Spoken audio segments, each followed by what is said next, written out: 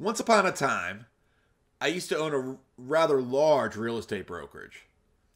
And during those 10 years, almost every single day, a real estate agent who worked with the brokerage would come to me and say, Hey, Dan, I am working with this buyer and this happened.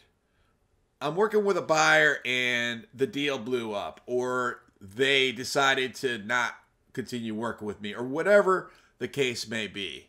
I, I I'm working with this buyer and we've gone out to 117 homes. What do I do? And these are some of the challenges that I would see on a day-to-day basis, and I observe them as being reactive. And so instead of being reactive, through that experience and through my own personal sales, that's where the 80 20 buyer consultation was created from, or at least the idea to create it. And so, what I've created is a consultation that is proactive instead of reactive, that will allow for you to solve the problems before they occur, to set the expectations of the predictable problems that may occur.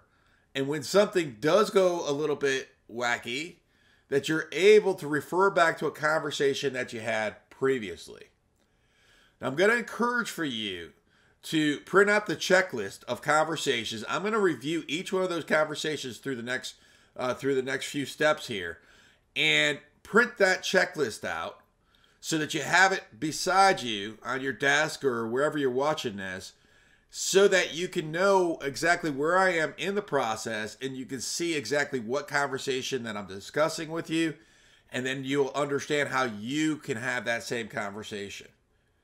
When you start working with buyers, or you're, you're probably already working with buyers, but on your next buyer, also print out that checklist, put it into a folder, and that checklist will go with the folder of the buyer who you're working with and check off the conversations that you have with the buyer.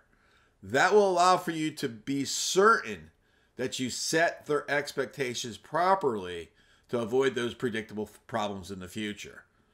Now, I want you to trust me that this process works when you work it.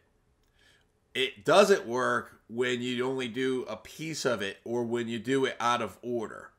So pay attention. This is going to be the most valuable tool that you've learned in real estate, at least with uh, working with buyers.